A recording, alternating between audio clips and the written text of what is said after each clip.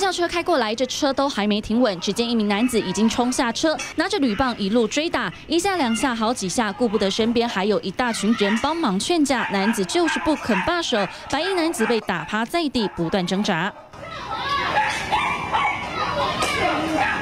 警方火速赶来，但冲突还没落幕，门口突然冲出一个人，手上还拿着一个不明物体，就朝被害人身上一阵猛打，就连到场处理的远警都快拉不住。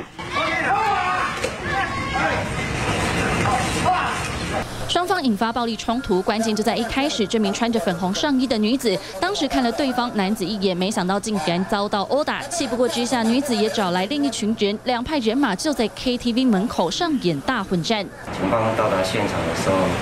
呃，双方是有一些呃拉扯、叫嚣的情形。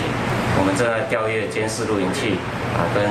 呃通知当事人来依法侦办当中。回到现场，事发当时就在这家澎湖马公的 KTV，凌晨四点上演集体斗殴，把附近住户都给吓了一跳。没想到周末假日到澎湖 KTV 唱歌狂欢，却只因为看了一眼，引发双方打架，最后被以违反社会秩序维护法送办。记者严玉龙、杨文新澎湖报道。